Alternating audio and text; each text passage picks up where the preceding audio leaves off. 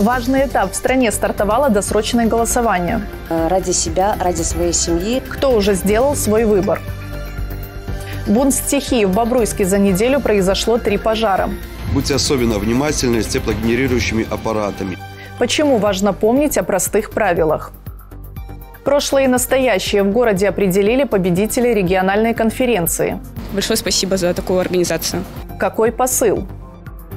А также сладкое производство, расширенный перечень и ответы на вопросы.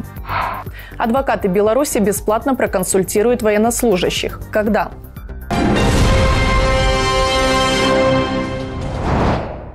Итоги уходящего вторника подводят наши корреспонденты и я, Юлия Евтушенко. Президент провел совещание с руководящим составом госорганов системы обеспечения нацбезопасности. На разговоре с силовым блоком главе государства была доложена оперативная информация о складывающейся обстановке в Беларуси и вокруг. Александр Лукашенко подчеркнул, важно правильно принять решение, ведь цена – мир и безопасность граждан. Все должны быть готовы к разному роду сценариям, так как в ближайшее время в стране пройдут главные политические события. Мир методично превращается в полигон глобального противостояния. Вы видите, что происходит на Ближнем Востоке уже открыто звучат угрозы применения ядерного оружия. Целые города стираются с лица земли вместе с их мирными жителями. И оказывается, так можно делать, не попадая под санкции, не становясь изгоем в глазах так называемого цивилизованного общества, носителей истинных демократических ценностей.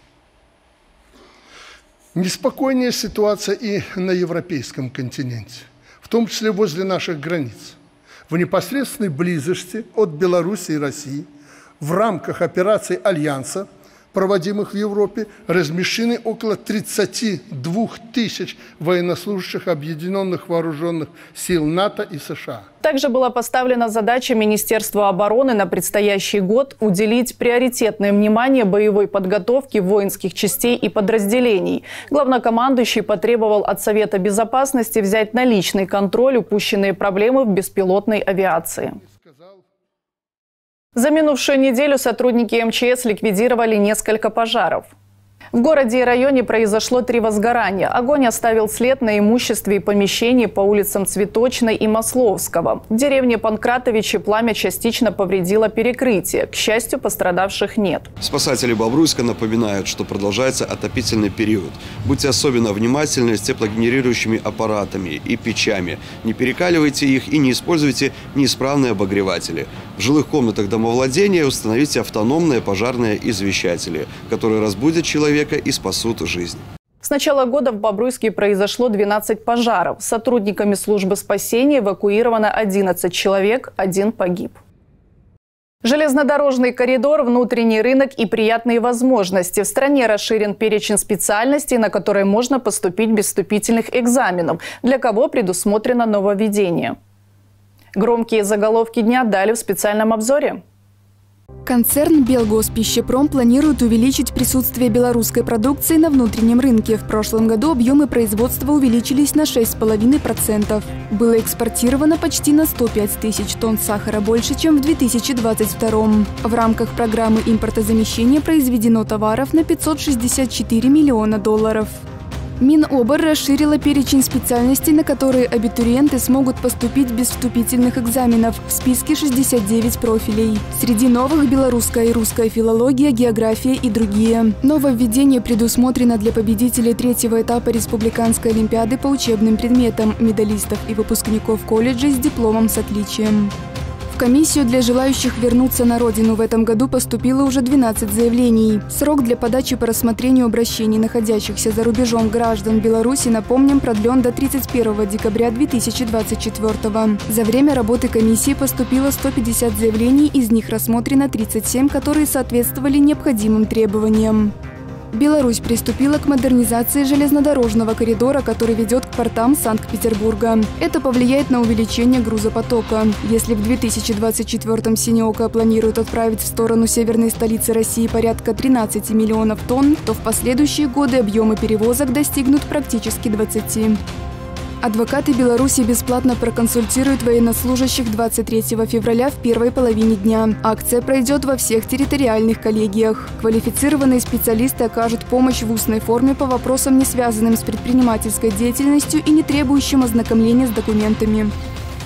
Ровно в полдень по всей стране открылись избирательные участки. Досрочное голосование на выборах депутатов Палаты представителей Национального собрания 8 созыва и местных советов депутатов 29-го стартовало. За процессом голосования наблюдал Виталий Гаврусев. 20 февраля в стране стартовала важнейшая фаза электоральной кампании – голосование. По 24 включительно можно отдать свой голос за кандидата досрочно. Это касается тех избирателей, которые не смогут в единый день голосования в воскресенье прийти на избирательный участок. Участки для голосования в Бобруйске, как и по всей стране, начали работу в открытом режиме. Период досрочного голосования продлится 5 дней с 20 по 24 февраля. Избирательные участки будут открыты с 12 до 19.00 без перерыва на обед. 25 февраля в единый день голосования с 8 до 20.00. Все прошло в штатном режиме, участок наш открыт, члены комиссии готовы для работы, и сегодня уже идут избиратели прямо с 12 часов.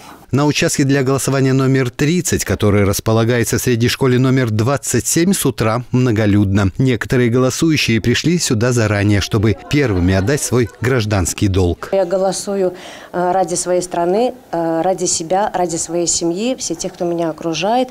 И я голосую за стабильность, за спокойствие, за уверенность и за мирное небо. Отметим, что электоральной кампании предшествовала большая работа.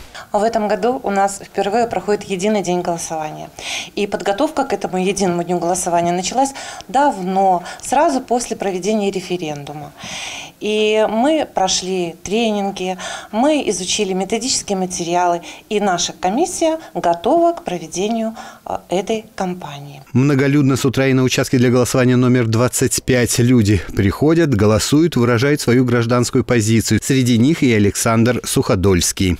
Все обязаны выполнить свой долг, обязательно надо прийти на участок, э, проявить свою позицию, позицию э, за крепкое стабильное будущее, за сильную власть, учитывая тем более, что какие сегодня присутствуют внешние, экономические, политические факторы. Просто другого быть не должно. На участке голосования номер 59 зарегистрировано 23 человека, которые будут принимать участие в выборах впервые. Для них подготовлен подарок. Конституция Республики Беларусь э, со всеми изменениями, которые произошли в процессе референдума, ну, скажем так, это такой основополагающий документ для наших молодых людей, которые начинают свою взрослую жизнь. Принять участие в голосовании – это не просто проставить галочку. Это в прямом смысле внести личный вклад – формирования будущего. Виталий Гаврусев, Дмитрий Шевцов, Бобруйск, 360. В стране фиксируется подъем уровня воды. Наибольший вред талые воды причинили Брестской и Гомельской области. В Могилевской сохраняется подъем на большей части Березины, ледостав на Днепре и Соже. В связи со сложившейся обстановкой специалисты проводят постоянный мониторинг показателей. Анализируя подъем воды в течение февраля, вот с начала месяца, плавно, потихонечку, учитывая э, переменную погоду и оттепели, Э, вода поднималась до прошлой пятницы, где-то 3-5 сантиметров ежесуточно, и достигла двухметровой отметки над нулем графика Бобруйского гидропоста. Э, это никакими отрицательными какими-то характеристиками не обладает. Подтоплению могут быть подвержены участки по улицам Набережная, Береговой в районе переулка Труда Майском. Критическим считается уровень выше 60 сантиметров. Малая Родина в Бобруйске прошла региональная конференция от Бобруйской епархии.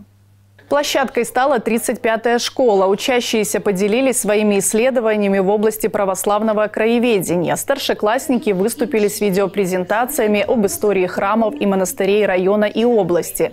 Защита научно-практических проектов по теме святыни родного краю проводится в стране впервые. В рамках сотрудничества между Бобруйской епархией и управлением по образованию Бобруйского горисполкома проводим вот эту конференцию для учащихся средних школ города Бобруйска. В 2024 году мы празднуем 80 лет освобождения Республики Беларусь. И сегодняшняя конференция еще раз э, подчеркивает важность сохранения исторического и культурного наследия нашего народа. Хочется отметить то, что мероприятие прошло на достаточно высоком уровне. Очень понравилось и большое спасибо за такую организацию. Жюри выбрали пять победителей. Все участники были отмечены дипломами, а научные руководители и педагоги получили подарки и благодарственные письма. В библиотеку 35-й школы была передана эксклюзивная серия из 12 книг от Бобруйской епархии.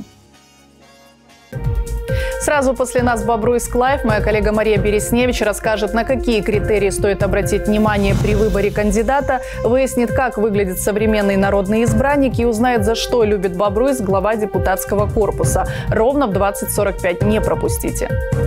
Это все из событий к этой минуте. Смотрите нас в интернете и в соцсетях. Мы в эфире каждый будний вечер. Счастливо!